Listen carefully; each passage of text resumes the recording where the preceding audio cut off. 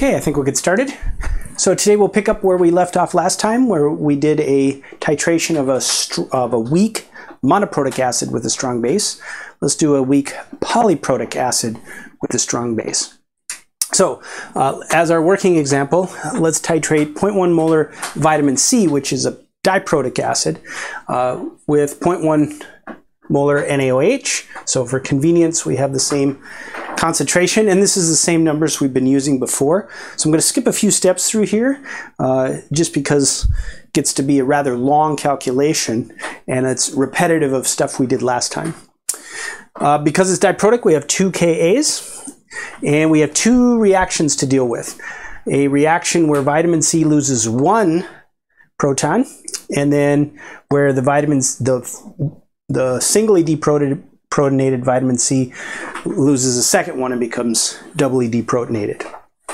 So the Ka1 associated with this action reaction and the Ka2 is associated with that reaction. Now there are going to be two equivalence points. There's going to be when we add exactly the same number of moles of sodium hydroxide to react with the vitamin C. That will take us to the first equivalence point, which will be uh, this. And again, as before, we are getting away with an approximation here. Because these Kas are so different, we can think of these as two separated reactions. Now, if these were closer, then we'd have a what's called a complex equilibria situation, and it would be much more difficult. But at this level, at our sort of general chemistry level, we will um, always have this situation. Okay, so um, after the first equivalent, then we'll have created all this. And then after the second equivalent, we'll have created all that. So what we're going to do is slam this over and then to the, to the singly deprotonated, then let it come back, give us the pH of the first equivalence point. Then we're going to slam it all the way over, two equivalents, and have that fully deprotonated vitamin C come back and give us the pH of the um, second equivalence point. Okay. All right. So uh, again, going to kind of eliminate some steps here. Um, so make sure you felt really comfortable with the previous lecture and um, go back and watch that video if you're uh, if you lose it along the way here at all. So our first job, let's figure out the total number of moles of vitamin C. At the first equivalent point, we'll have added exactly that many moles of sodium hydroxide. And because of our choice here, uh, it happens to be 25 milliliters. If this was something else, we'd have to figure out what, what volume that was. So our total volume at this point inside the flask with the analyte and the delivered titrant, we are at 50 milliliters. And so number of moles over 50 milliliters, this is going to give us our concentration of the fully deprotonated, right? Because this is how much vitamin C, it's all reacted. And so this is the molarity of that. Now, here's a here's something too that you might be thinking of, and it is confusing and it's a case where this approximation actually makes things a little bit more confusing. Um, so we are sort of allowing ourselves to think of one reaction at a time. Now we've created this. This guy is in this reaction and this reaction. So how do we know which one it does? How do we know it doesn't just go further? And it certainly does. But what we need to do is calculate the KB here, and we get a KB of 10 to the minus 10, which is very small, but it's still much bigger than the Ka. So when alone in, in the solution, this reaction will dominate over this and will go back this way. So we need to use the Kb for the backwards reaction here rather than the Ka2 for the forward reaction here. That's because of their relative sizes.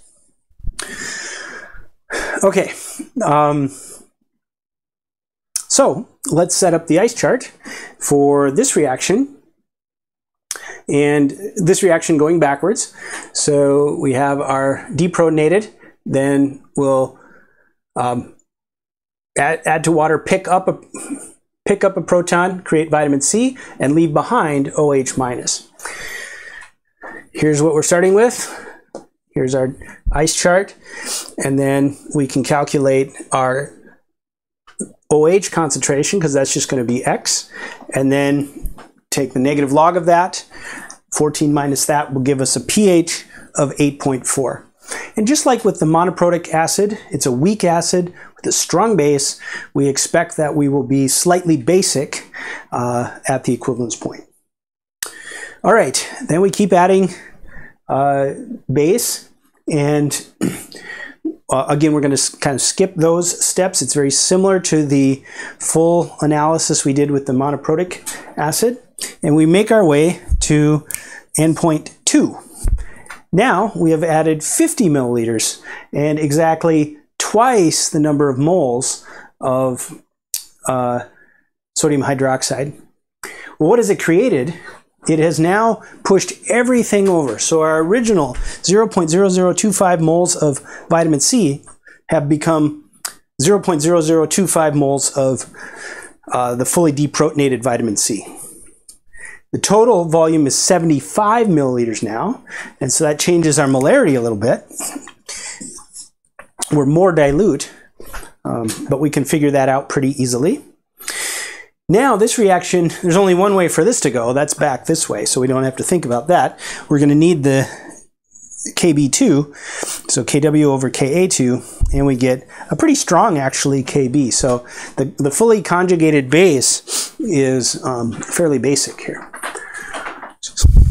So we would expect a pretty high pH, and that's what's going to happen. So let's set up our ice chart. Uh, we're all fully deprotonated, 0, 0. We work our way back. We get a concentration of OH that's pretty high. Take negative log of that, subtract that from 14, and we get 12, uh, pH of 12. Well, let's take a look at the, uh, at the titration curve. So it's interesting here now, there's two breaks in the curve because there's two equivalence points.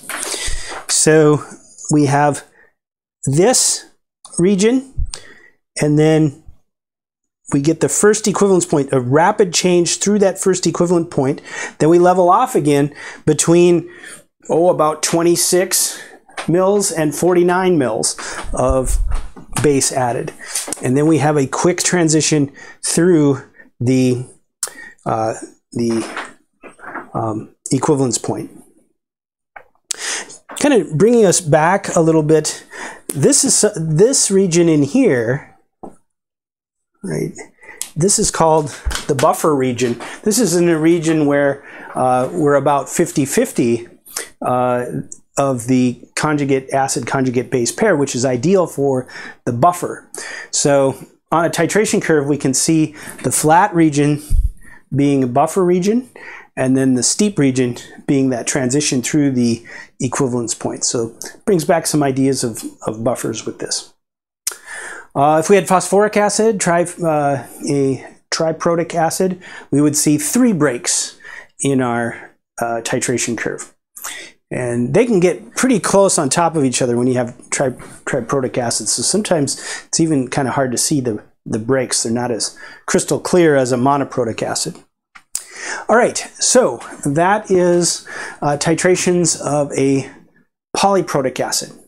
Uh, the last titration thing we're going to do, which will be next time, is we're going to do something called a back titration.